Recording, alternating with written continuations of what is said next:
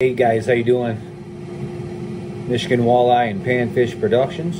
When I go out and catch a few fish, what I like doing is air frying them. I don't know if you guys ever tried it or not, but uh, I got a quick little uh, recipe that uh, has been working out pretty good. I enjoy it. It cuts down on the uh, the grease and the fish tastes great. So I use this kind of mix here. Louisiana it's got the lemon, the lemon flavor in it. It's really good mix. You can get it anywhere. It's a couple bucks. You got a lot of mix there. Today I'm going to cook up some uh, some bluegill. Okay, so I got my my bluegills out on paper towel, and uh, they were frozen. I let them uh, thaw out and get ready for the uh, for the air fryer. So anyways, I put them on this paper towel.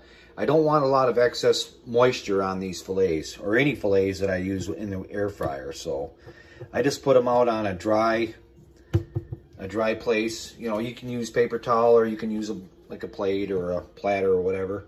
Just try to get the excess water off them. You just want them moist and ready for the uh, ready for the air fryers. I take the uh, the Louisiana fish fry mix. I got a bowl here. Pour some in here.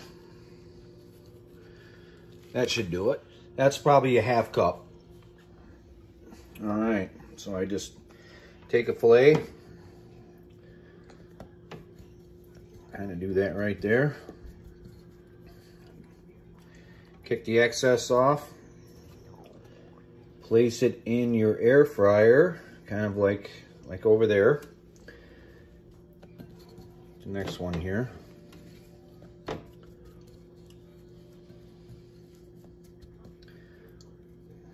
The excess off.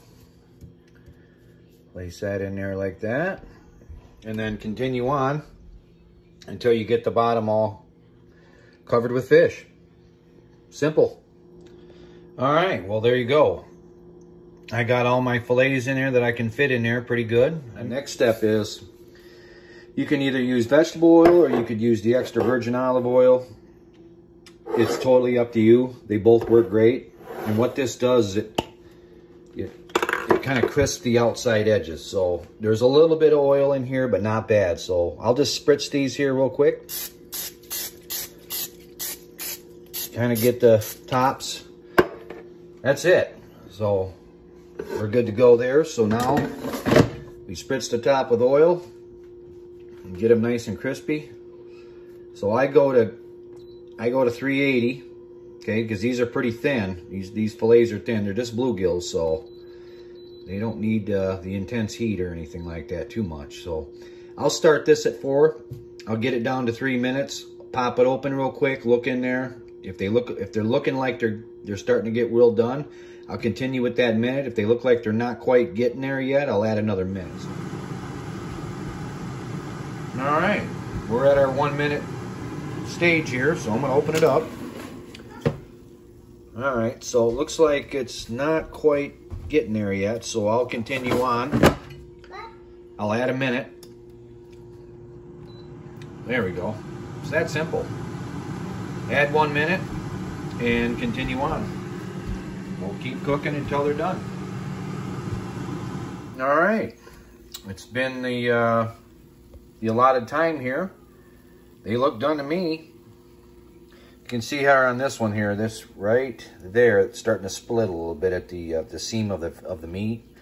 That's a good sign that it's uh, it's been cooked through, and they're ready to be eaten. Well, that's it, guys. You can't get much easier than that. So, you, like I said, let's just uh, reiterate here. Grab your fish, take them out of the package. Make sure they're make sure they're just moist, not wet. Put them in here, get them dusted up, and then you place them in your fryer. You uh, you use your, your vegetable oil or your extra virgin olive oil, spray them, cook them, and then go from there.